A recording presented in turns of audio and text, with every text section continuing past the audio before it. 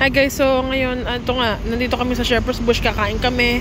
At napili namin kumain dito sa Lychee Bay. Which is ano, Chinese uh, restaurant.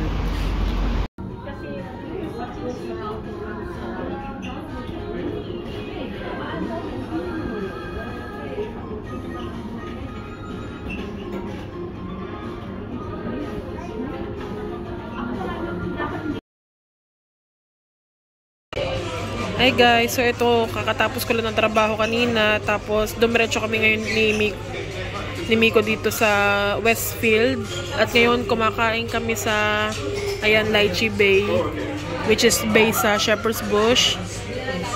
So, ayun, gutom na gutom ako, kaya dito kami napadpad. Ito yung order ko ngayon. Ayan, crispy pork belly with rice. Tapos si Miko naman, umorder ng seafood noodle soup. Ayan o. Oh.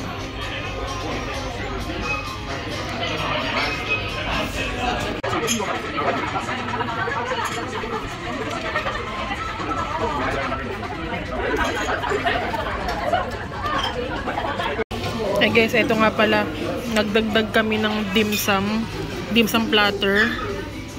So ayan, ayan ang kasama. So, tigdo dalawa each ng siomay.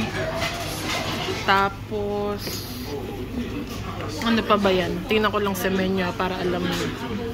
Uh, ayun, sabi prawn hargaw. Tapos, prawn and chive. Tapos, uh, yun nga, siomay. Yan.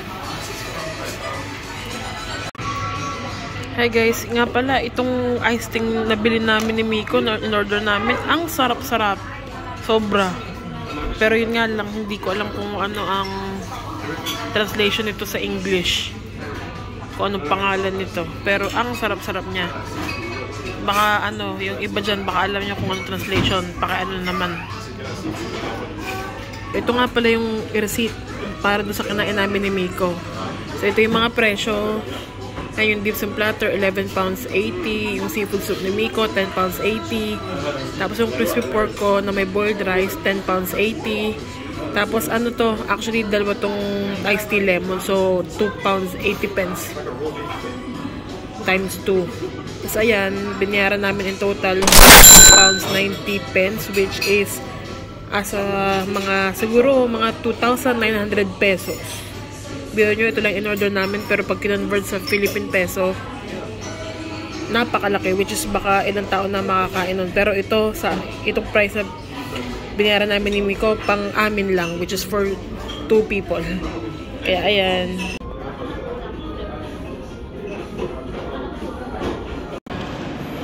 Hi guys, ito nga pala bago mag-uwian, bumili muna kami ni Miko ng frozen yogurt.